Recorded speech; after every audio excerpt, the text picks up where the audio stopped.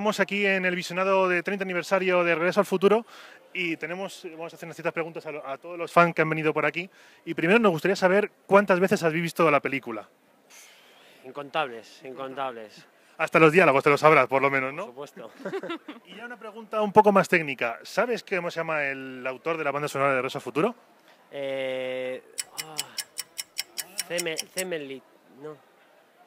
¿La tienes? Cemet- Cemet- sí, la tengo, sí la tengo, sí la tengo. Bueno, entonces también tienes la banda sonora. Bueno, pero igualmente la tienes, ¿no? Esta ya te la sabes de memoria. Vale, vale. Y bueno, ¿podrías decirnos para los fans de YouTube alguna frase mítica de la película? Eh, a ver, ahora. Eh, Great Scott. Vale, genial. Muchas gracias. Disfrutad de la película.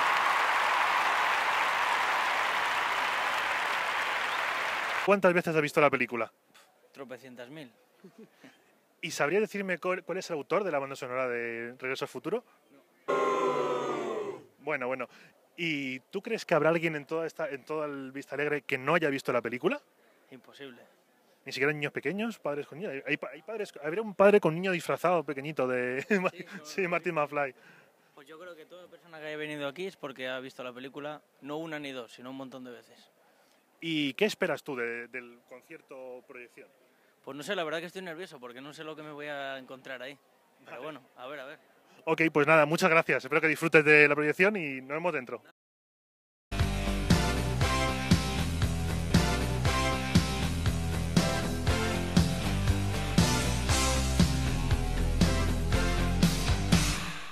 Eh, ¿Cuántas veces has visto Regreso al Futuro? Eh, pues no sabría decirte, pero yo creo que más de 20 o 30, más o menos, en ese rango. ¿Y sabrías decirme alguna de las frases icónicas de la película?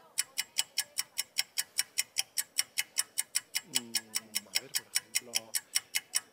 Espera, espera un momento. Sin prisa, no te preocupes. ¿Estás diciéndome que has construido una máquina del tiempo con un DeLorean? Ejemplo, muy bien. ¿Y sabrías decirme el nombre del autor de la banda sonora de Regreso al Futuro? Eh, Alan Silvestri. Ha sido buena, la gente no, no acierta la primera.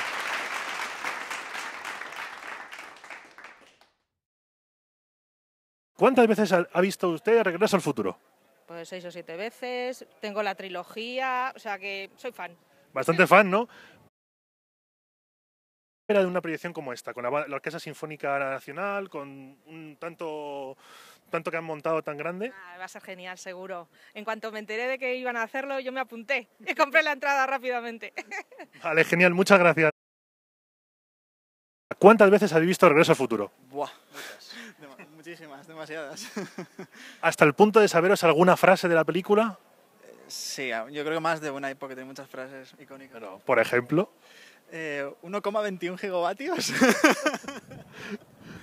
¿Y sabríais decirme quién es el autor de la banda sonora de Regreso al Futuro? sí, yo me acuerdo, es Alan Silvestri.